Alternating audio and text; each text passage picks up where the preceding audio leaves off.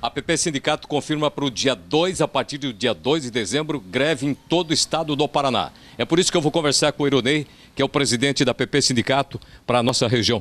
Ironei, está confirmado a partir do dia 2 de dezembro, greve em todo o estado? É isso mesmo, Félix e telespectadores da TV Carajás.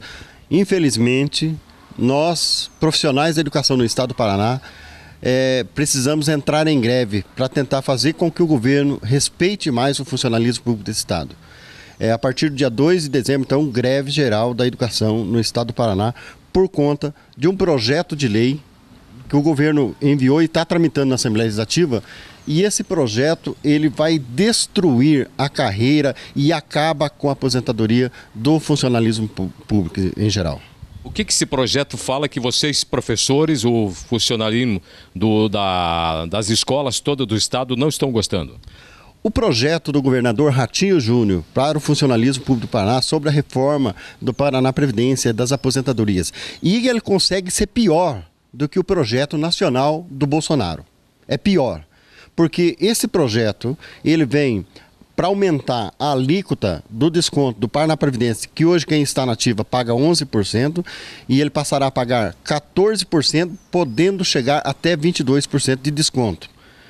Pior ainda, aquelas pessoas que já estão aposentadas e que hoje têm um desconto de 11% nos seus salários, no que passa do valor de R$ 5.800, esse desconto passa a ser menor. Para aqueles que já ganham acima de dois pisos mínimo nacional, já vai ter desconto de 14% em cima desse valor. Então, é uma redução de salário, na verdade.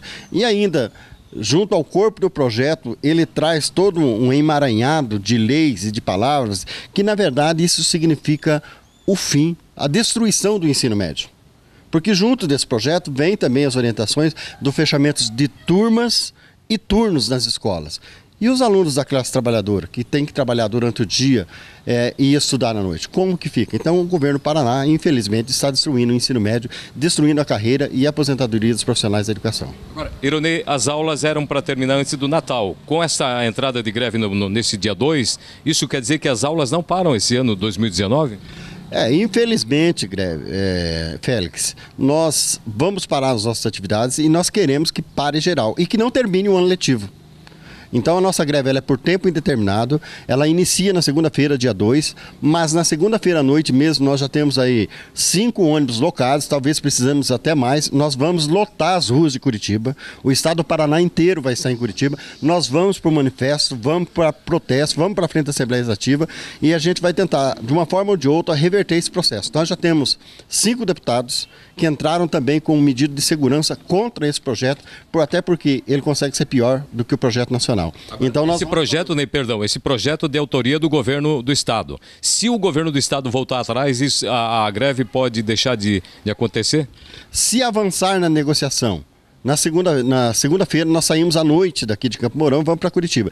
Na terça-feira, nós temos o dia D em Curitiba, que é um dia de protesto. Vamos para as ruas, vamos conversar com os deputados. A nossa comissão da direção estadual quer uma reunião com o governo. O governo Ratinho mente para a população do estado. Ele não recebe mais a direção do sindicato, ao contrário do que ele prometeu na sua campanha, que ele seria um homem do diálogo, receberia e ia conversar. Mentiu traiu a população do estado do Paraná e hoje ele não recebe a comissão do sindicato. E, então ele precisa ouvir. Ele está mandando um projeto sem nenhuma discussão com o funcionalismo público. Não, fez, não é só os professores, pessoal da saúde também, de outras áreas, também serão afetados. Então, nós, infelizmente, temos que parar as atividades para que esse governo, pelo menos, nos ouça e retire esse projeto de lá.